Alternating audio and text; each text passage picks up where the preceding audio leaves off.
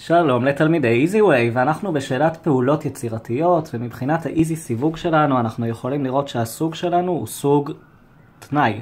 אנחנו בעצם צריכים להסתכל למה המספרים שלנו מתאימים, ולהציב בהתאם. אז למה ה-A וה-B שלנו בעצם שווים? אנחנו יכולים לראות ש-A שווה 6, ו-B שווה 2. לאיזה מהתנאים בעצם זה מתאים? זה מתאים לתנאי השני.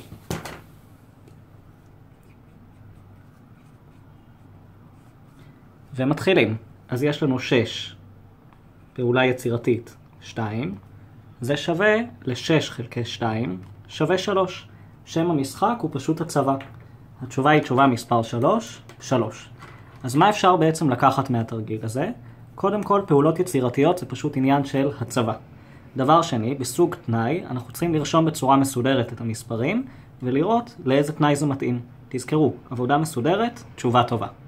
בהצלחה.